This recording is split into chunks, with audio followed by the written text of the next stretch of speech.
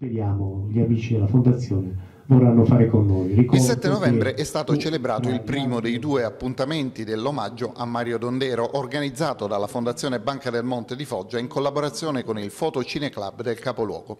Nella sala Farina è stata proiettata un'anteprima assoluta per Foggia e per la Puglia, il film documentario Paradiso, preceduto dall'incontro con il regista Alessandro Negrini e con Mario Dondero, celebre reporter che ha segnato la storia del fotogiornalismo del secondo Novecento e che ha collaborato collaborato alla genesi del lungometraggio. Un incontro all'insegna della simpatia ma anche della riflessione su temi della storia recente come il contrasto tra cattolici e protestanti nell'Irlanda del Nord e sul valore del cinema e in particolare del documentario come strumento di testimonianza e di analisi sociale. Dopo i saluti della Presidente dell'Associazione Amici della Fondazione Banca del Monte, professoressa Rina Di Giorgio Cavaliere, e del Presidente del Fotocine Club Foggia, dottor Nicola Loviento, ad aprire la serata è stato il Presidente della Fondazione, professor Saverio Russo, che ha raccontato brevemente il valore dell'iniziativa della Fondazione del Fotocine Club, il riconoscimento del valore artistico ma anche sociale dell'opera di Mario Dondero attraverso la mostra delle sue opere allestita in Fondazione.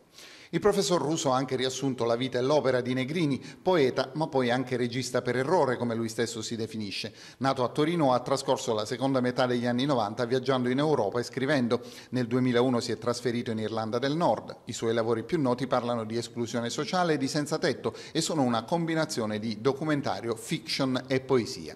Il regista, dotato di una naturale simpatia e di grande comunicativa, è entrato subito in sintonia con il pubblico, anche grazie alle gustose battute con le quali ha condito il suo intervento. Negrini ha raccontato della sua vita a Derry, dove è arrivato quando era da poco finita la sanguinosa guerra civile tra cattolici e protestanti, guerra che ha lasciato un muro edificato nel 1969 dall'esercito britannico per sedare gli scontri tra repubblicani indipendentisti e protestanti unionisti. È proprio della vita odierna nel Fountain, la piccola enclave protestante all'interno all'interno di un quartiere a maggioranza cattolica racconta Paradiso, la storia di una piccola evasione da un carcere a cielo aperto attraverso la musica.